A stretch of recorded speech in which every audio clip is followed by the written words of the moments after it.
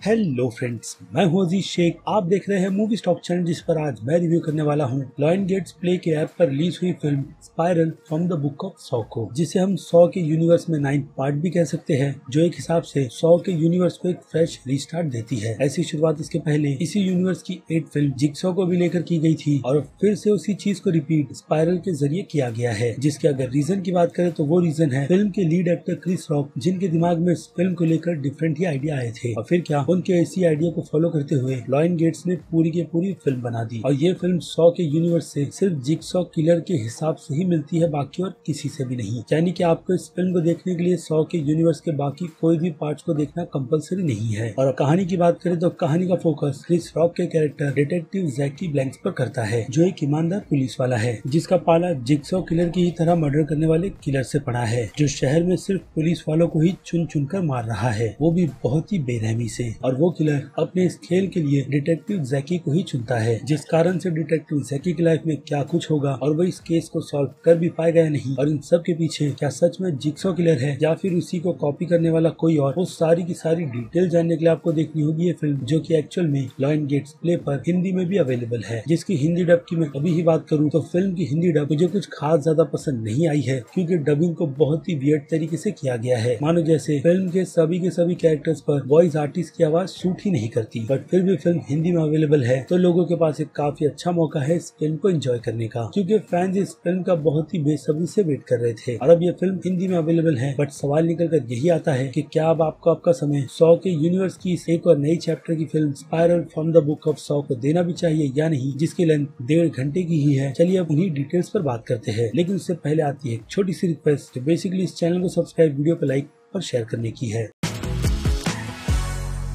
तो फ्रेंड्स तो बात करें Spiral from the book of Saw film की। तो इस फ़िल्म के बारे में बोलने जैसा अच्छा तो कुछ खास है नहीं। सिवाय इसके कि बस ये टाइम पास से बनाई गई फ़िल्म है, जिसे लोग सिर्फ़ और सिर्फ़ इस फ़िल्म के टाइटल और फ़िल्म की दो कास्टिंग की वजह से देखेंगे, जिनमें से एक नाम तो क्रिस रॉक का ही है और दूसरा सबसे बड़ा नाम है सेमिल जैक्सन का, जिनका अपीयरेंस उतना ही है जितना हमने ट्रेलर में देखा। यानी कि वो इस फ़िल्म में कैमियो प्ले कर रहे हैं और उसमें भी सेमिल जैक्सन परफॉर्मेंस के मामले में अपनी छाप छोड़ ही जाते हैं। बात रही अब क्रिस रॉक के कैरेक्टर की तो उन्हें मैंने इस तरीके का सीरियस रोल करते हुए पहली बार देखा है। हालाँकि उन्होंने इसके पहले भी कुछ सीरियस रोल किए हैं, बट मुझे उसका उतना ज़्यादा आइडिया नहीं है। इसलिए ये चीज़ मेरे लिए बिल्कुल नहीं थी कि मैं क्रिस रॉक को कॉमेडी के जॉनर से हटकर एक सीरियस रोल में देखूँ, जिसे देखकर कहीं कहीं पर मुझे हँसी और कहीं पर उनकी परफॉर्मेंस ठीक ठाक नज़र आ रही थी। क्योंकि इस कैरेक्टर में इतना दम नहीं कि हम उस कैरेक्टर से रिलेट कर पाए और इस पूरी की पूरी फ़िल्म को बैठकर उनके नज़रिए से देखे। रही बात हँसी की तो वो हँसी तो उनकी आवाज़ को सुनकर आती है। इसके अलावा जो बात मैंने फ़िल्म के कैरेक्टर को लेकर कही है, वो सिर्फ़ क्रिस रॉक के साथ ही नहीं, बल्कि फ़िल्म में दिखाए गए सभी के सभी कैरेक्टर्स के साथ होता है। यानी कि फ़िल्म में किसी भी कैरेक्टर्स पर जो कैरेक्टर डेवलपमेंट नाम की चीज़ होती है, उसे किया ही नहीं गया। इसलिए ये फ़िल्म मेरी नज़र में तो विदाउट सोल फ़िल्म है, जिसे आप सिर्फ़ और सिर्फ़ अपने खाली समय में ही देख सकते हो। रही बात फैंस की तो उनके लिए ये फ़िल्म सिवाय डिसअपॉइंटमेंट की और कुछ नहीं देती, खास करके फ़िल्म के एंड में, जिसकी ज़रूरत नहीं थी। बट फिर भी फ़िल्म के इस तरीके के सीक्वल को आगे बढ़ाने के लिए एक ऐसा एंड दे दिया गया, जो इस फ़िल्म और सौ की फ्रेंचाइजी को आगे कहीं लेकर ही नहीं जाता। इसके अलावा जो मकसद फ़िल्म के विलेन यानी कि जिक्सॉ किलर के दिखाए गए हैं, उसमें तक कोई डेवलपमेंट नहीं की गई और ना ही विलन के कैरेक्टर को डेवलप करने में। जिस कारण से तो ये फ़िल्म हमें एक ऐसे आइडिया पर बनाई गई फ़िल्म लगती है, जिस आइडिया को कोई भी सोचकर इस फ्रेंचाइजी को आगे कंटिन्यू कर सकता है। लेकिन इस बार ये ज़िम्मेदारी फ़िल्म के डायरेक्टर डैरन बॉसमैन को दी गई थी, जिन्होंने इसके पहले सौ के यूनिवर्स के सेकेंड थर्ड और फोर्थ पार्ट को डायरेक्ट किया है। लेकिन अब जैसे की मैंने कहा स्टोरी में डेवलप करने जैसा कुछ था ही नहीं, इसलिए वो भी इस फ़िल्म को बचा नहीं पाते। और बात रही सौ की सीरीज़ में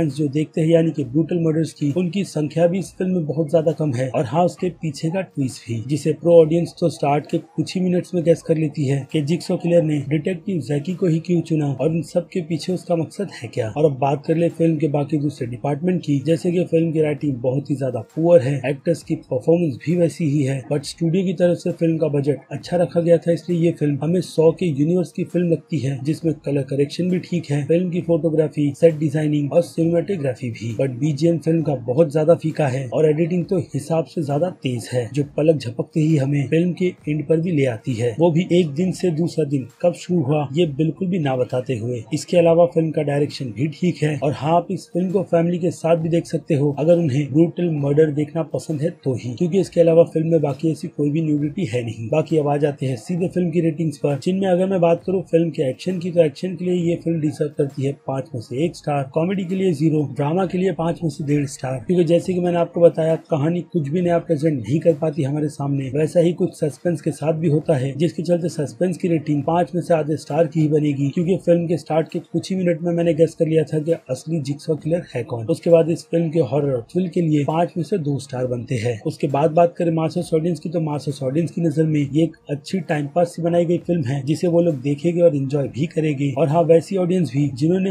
हु डन इट के कॉन्सेप्ट को ज़्यादा एक्सप्लोर नहीं किया है। इसलिए रेटिंग भी बी प्लस की बनती है। बाकी आ जाए क्रिटिक्स पर तो क्रिटिक्स की नज़रों में ये फ़िल्म सी प्लस की रेटिंग डिजर्व करती है। और मैं इस फ़िल्म को सी माइनस की कैटेगरी में रखूँगा, क्योंकि मेरी नज़र में ये कंप्लीट फ्लॉप और टाइम वेस्ट के अलावा कुछ नहीं थी। लेकिन ये मेरा पर्सनल ओपिनियन है Spiral from the book of Saw film को लेकर। बाकी आप अपनी राय मुझे कमेंट में लिखकर ज़रूर बताइएगा कि अगर आपने इस फ़िल्म को देखा है तो आपको ये फ़िल्म कितनी ज़्यादा पसंद आई है और कितनी नहीं। इसके अलावा अगर आपको वीडियो में कुछ भी पसंद आया है तो वीडियो को तो लाइक करना बिल्कुल भी मत भूलिएगा, क्योंकि इससे मुझे मोटिवेशन मिलती रहती है इस टाइप के कंटेंट को अपने चैनल पर कंटिन्यू रखने की। और अब चलिए खत्म कर देते हैं वीडियो को भी यहीं पर। मैं हूँ अज़ीज़ शेख। आप देख रहे थे मूवी स्टॉक चैनल जिसे अगर आपने अभी तक सब्सक्राइब नहीं किया है तो सब्सक्राइब भी कर लीजिए और बगल में बने हुए इस बेल आइकन के साथ साथ नोटिफिकेशन को भी ऑल पर क्लिक कर दीजिएगा। बाकी मैं मिलूँगा जल्दी आपसे दूसरी किसी वीडियो में। किसी और फ़िल्म या फिर किसी और सीरीज़ के टॉपिक पर बात करते हुए। तब तक के लिए आप मेरे चैनल के बाकी दूसरे वीडियोस को एंजॉय कीजिए और टिल देन बाय